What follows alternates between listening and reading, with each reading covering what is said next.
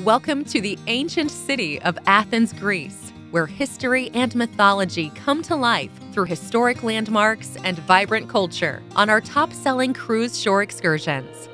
Take a walking tour of the Plaka, the oldest part of Athens, and the Acropolis.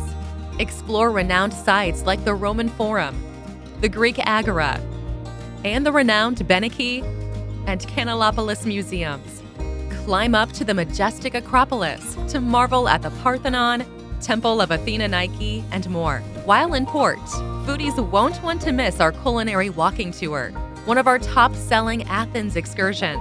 Enjoy a wide range of Greek cuisine, such as Greek olives and feta cheese, sweet and syrupy loukoumades, and savory pastrama. Visit the vibrant Athens Central Market immersing yourself in its bustling energy and the smells of the spices, fruits, meat, and fish. Discover ancient Athens and Piraeus on a convenient, guided, hop on, hop off bus tour.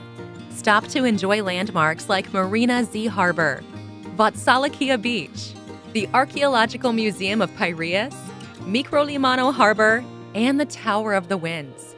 Explore Athens from a different perspective on a thrilling bike tour of the Agora.